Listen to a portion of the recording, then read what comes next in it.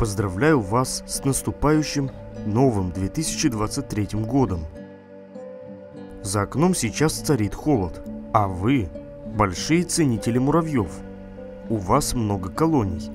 Вы часто их снимаете или просто с интересом наблюдаете за их развитием. И хотя бы один раз в жизни вас точно посещала мысль, что муравьи делают зимой.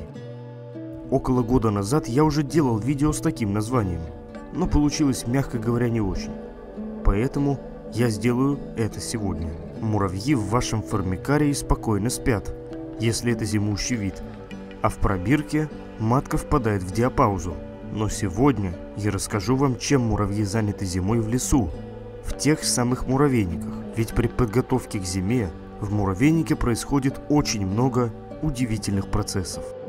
Основное занятие зимующей колонии, которая начала подготовку к зиме, конечно же добыча запасов пропитания, без которых зимовка невозможна. Муравьи видов, зимующих в условиях сильных морозов, часть осени проводят вне фазы сна, питаясь заготовленными животными и растительными остатками. В состояние диапаузы насекомые впадают с наступлением серьезного похолодания.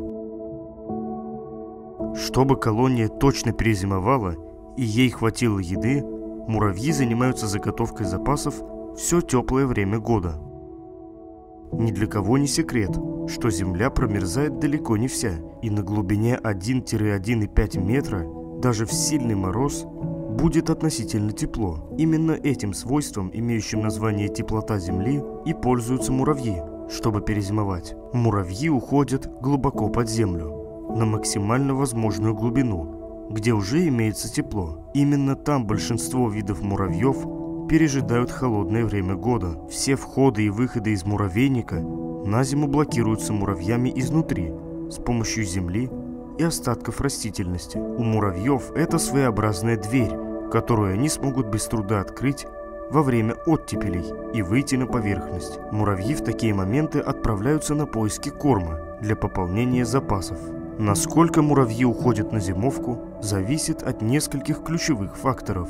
Это регион проживания насекомых, оказывает наивысшее влияние на срок зимовки, вид муравьев. Но если говорить о популярных видах муравьев, то в среднем они находятся под землей 7-9 месяцев. В жарких регионах зимовка может быть и вовсе менее двух месяцев.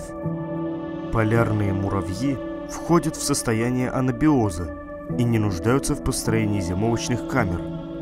Они не уходят глубоко под землю, а используют глицерин, который не позволяет им замерзнуть. Они накапливают глицерин организмом, и он продолжает функционировать, но очень медленно. Наиболее активно к зимовке готовятся лесные муравьи. Они делают огромные по высоте муравейники. В преддверии зимы они чистят свой дом, вынося скопившийся мусор. Это помогает сделать зимовку комфортной. Тепло сохраняется намного лучше. Благодаря качественному утеплению выживает основная часть колонии. С приходом холодов жизненный цикл муравьев кардинально меняется. Матка прекращает кладку яиц, и в муравейнике не остается личинок.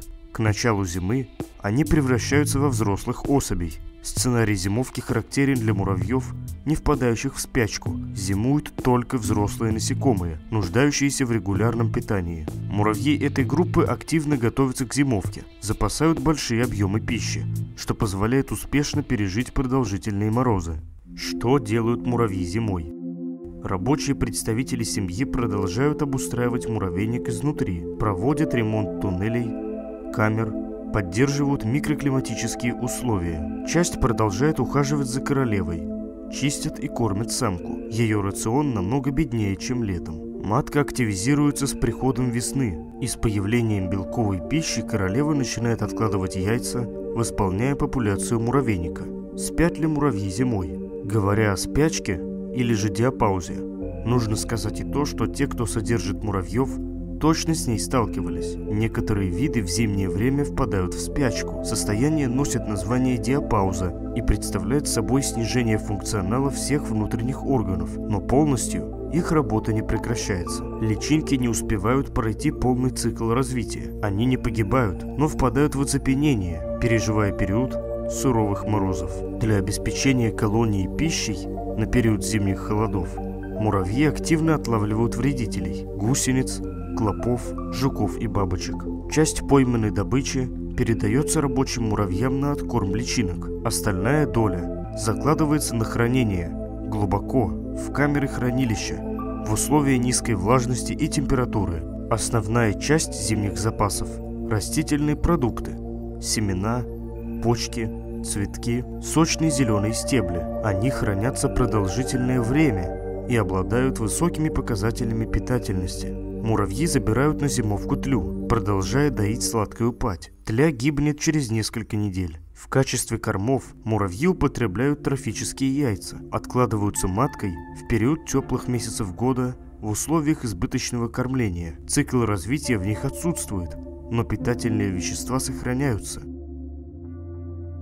В заключении могу сказать, что основная подготовка муравьев к зиме заключается в заготовке запасов еды. Некоторые виды муравьев продолжают активную жизнь и зимой, но все же не такую активную, какой она является летом. Пишите в комментариях, что вы думаете об этом и на какие темы еще сделать видео. Еще раз поздравляю вас с наступающим 2023 годом.